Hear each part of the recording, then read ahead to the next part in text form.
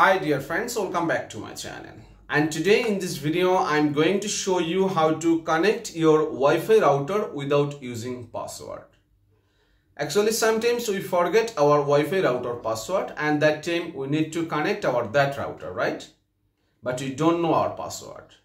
So if you really want to learn how to connect your Wi-Fi router without using password, that time this video is only for you. Because in this video, I'm going to show you the easiest process for you. So before starting the process, I'll ask you something that please subscribe my channel and give also like this video. So let's start the process. So today in this video, I'm going to show you two kinds of easiest process. So either you can follow the first process or you can follow the second process. So let's start the first process. So in my this phone, I will connect Wi-Fi without password. Okay, so let me go to my phone section and let me go to settings then click here connections then Wi-Fi and I have already connected to this router okay? So let me forget it first and wait then if I click here this router you can see I need password okay? So I can give password if I remember but I don't know this router password okay? So what I need to do just get back from here and I need to go to my router section and in every router there is one button available which is WPS reset button okay? So you need to click this uh, button for one time okay? And if I click on that that time this lock button will be blinking okay? So let me click here for one time and you can see this lock button is already blinking. So right now I need to come to my this phone then click here settings option. Then go to connections. Then Wi-Fi. Then turn these settings on Wi-Fi. And after that let me click here advanced.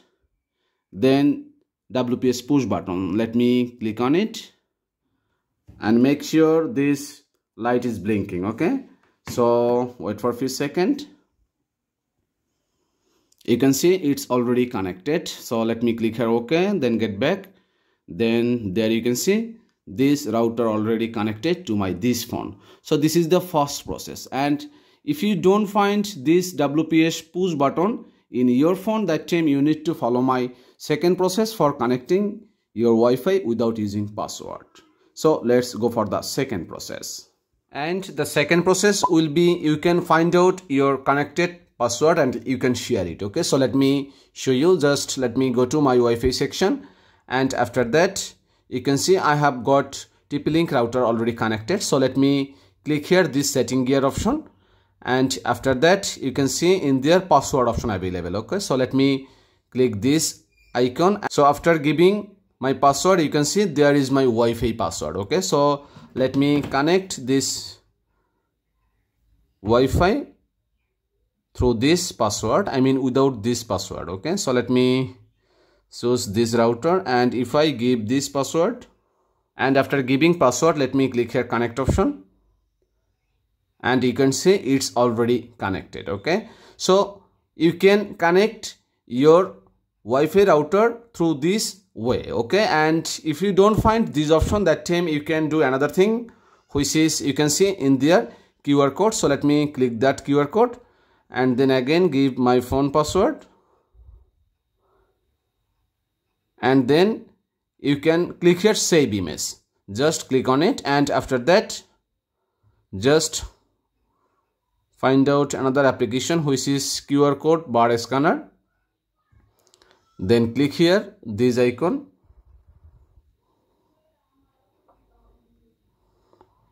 And then click here gallery then just once then share this QR code.